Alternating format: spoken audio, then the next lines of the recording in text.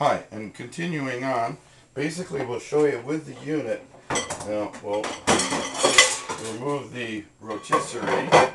Now you do want to have a rotisserie machine, but the hooks are located just up in the ceiling of the machine. And you want it to hang the bars so that it's slightly off center. You don't want them exactly in the center because then they'll be like in the same little stream of water. If, if the center point is like this, then the water's constantly showing and then if it's a little bit off then it's kind of like flowing up against the bars. Now you can see there is mild wear uh, where the molecules are coming off the bars. Been using these bars for a few years. It does take quite a few years for the bars to deteriorate. Um, basically you just have the chains into the cup hook. Um, the one high voltage wire comes to the one bar and the other volt wire basically goes back and is connected to ground. Um, this is the standard manual model and to run it you would push the times in and cycle it in and cycle it time and time like I showed you on the other video there. But uh, the other thing we have is the semi-automatic manual and we'll just move this a minute. We left the covers off them just to make it easier to see. The semi-automatic has a different thing into it. In the back here we have a temperature sensor that monitors the temperature of the air of uh, in the back here. Now normally we would have just our pitcher of water inside that goes in and you put the bars in and it runs like that. Well, as the electricity flows through the water, the water gets warm. Now you don't want the water to get too warm, so the thermostat is set at about 85 degrees or so, so that when the water gets up about 110 degrees, it makes this warm enough that it shuts the power off so that it's no longer warming. But also with this one here, we've directed the flow of the air from the cooling fan directly into the unit and across the, the, the pitcher of water to uh, help keep the water cool and to cool it down so if the water temperature is too hot. We also block the flow of the air around the microwave where normally the air, this here is a piece of weather stripping that's been put in. Normally the air flows around the outside because of the cooling fan uh, we've blocked it at the bottom and at the top, so now all the air has to go through the entire unit, and then it comes back through these other perf holes in the top and in the side. And, and oh, this helps the condensation problems and uh, helps the cooling factor so that uh, with these models, the semi-automatic, it makes it simpler.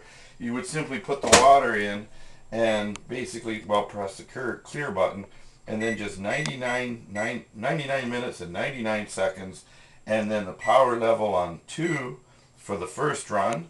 You hit start, let it run for 99 minutes. Uh, later on, after it's cooled off, you come back and you, it, you'd run it again 99 minutes at power level 1 and it would run again and when it's done those two cycles the water would usually be up into the 10 11 parts per million and you only have to run two cycles on the semi-automatic where the uh, uh, manual one you may run the water through 5 10 15 times depending on the size of the pitcher. Usually about 5 to 10 times. Um, and also it makes a difference with the silver on the moon phase.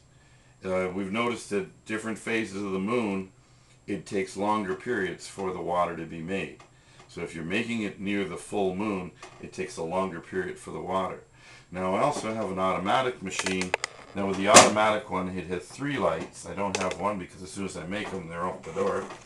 Uh, they basically have three little LEDs and again has the bars and everything. But with the automatic one, the temperature sensor goes right on the bar. And we don't have to measure the temperature of the water because if we measure the temperature of the bar, the silver is a, one of the most thermally conductive materials known. So we just put a thermistor in here, run a little wire off to a little computer system that basically maintains ideal temperature of the water.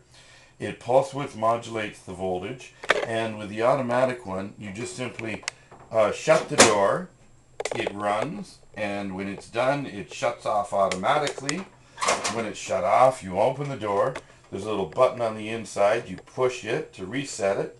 Take your water out. Pour off the top part. And basically I'll just show you that because you want to do that. Here we have a batch that's that's that's done and you have lost some from evaporation. So we'll just pour it into a bottle here. Sorry you don't need to shoot by with the camera back and forth. We'll pour this into another bottle and then we just simply refill it with distilled water this is about a quarter full we refill it with distilled water and put it in and begin our batch over again now also I've noticed if you notice on the bottles there's on the glass there's a bit of a buildup on the container I was cleaning that all the time but then I found later that the water seems to make a little faster and easier if I allow that silver to stay in there. And so basically you, well, we put the rotisserie back on. Now the one important thing about the rotisserie is it keeps the water flowing over the bars.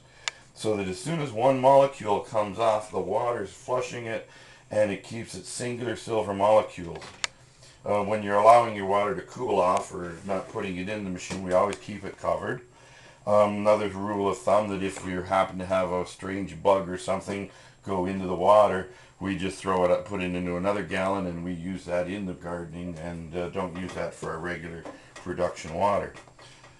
That's the basic uh, run over on how to make a silver machine. We uh, have the bars here, the stainless steel food grade. And although we're looking at the nuance, just basically having a solid silver bar all the way up, bend the silver, put your voltage, hook it up, your chains to maintain it properly positioned. Um, anytime you cut or drill, we always go over it with epoxy so that you're not going to have any rust or corrosion problems. With removing the metal from the other unit to make the semi-automatic, we always paint over the metal that we've cut away so that there's no rust problems on it. And, uh, oh, also with the automatic one, there's a couple little controls up in here where you can actually fine tune the, uh, the parts per million of silver that you desire from your unit and uh, basically uh, I want people to know how to build these machines so that the whole world can go on out and build them themselves. Uh, I would appreciate it if you build one and you use my information and it's a blessing to you, send me $50. Help me out so that I can get more information out. Help me to help others. This thing here, you say colloidal silver will kill swine flu. I never get flu viruses or colds. I use it for everything up in my nose and for deodorant and for my hair and I just feel a whole life. My whole world's come alive. I feel better now at the age of 54 than I did when I was 24.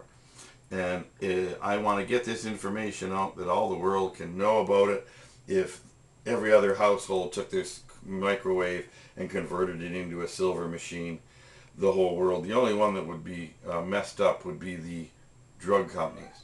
They would lose. Well, I'm sorry. To have a healthy world and a healthy planet, this is the best health care thing on the going. If you don't address this information and get this onto the world, people don't care about health care. I've got testimonials, I've got references, and so much feedback and information that it's pretty much understandable that this technology has been and uh, they want it suppressed. So my name is Bruce McBurney. If you want any information, I'm Bruce at HiMacResearch.com. HiMacResearch.com is my website. Explains on technology where cars can get five times the gas mileage been suppressed by the oil companies. Uh, I've learned this. I wanted to share it out, and uh, I've uh, basically uh, think we've covered most things. The other thing, I'm just thinking off the top of my head, one other thing I also do on the units, because these are fused units, they're made to work as a microwave. For a safety precaution, I usually put a little uh, 12 amp circuit breaker in there. So if the water, if somebody puts it in for too long or they forget it or do something, they make a mistake, it'll pop the safety brake. Now the reason this makes much better water is it's the high voltage and this is far superior to the other ones. So just going to sign off now. And thank you very much for watching this. I hope you share this information. Everybody's got to know the truth and how to make colloidal silver properly. Thank you very much.